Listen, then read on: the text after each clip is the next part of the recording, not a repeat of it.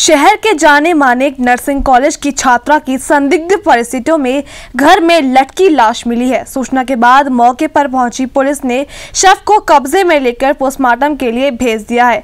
बताया जा रहा है कि श्याम विहार कॉलोनी निवासी मूल रूप से उधम सिंह नगर की रहने वाली 18 साल की छात्रा अपनी माँ और बहन के साथ हल्द्वानी में किराए पर रहकर शहर के जाने माने नर्सिंग कॉलेज में पढ़ाई करती थी। शनिवार देर रात छात्रा खाना खाने के बाद अपने कमरे में चली गई, जहाँ थोड़ी देर बाद माँ छात्रा के कमरे में गई तो छात्रा पंखे से लटकी हुई थी।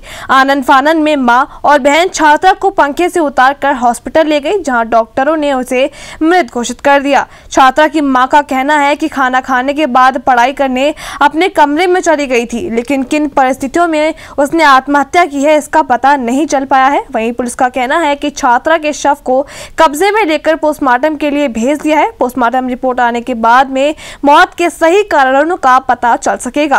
पुलिस अपने स्तर से परिजनों से पूछताछ कर रही है। छात्रा की मौत के बाद परिवार में कोहरा मचा हुआ है।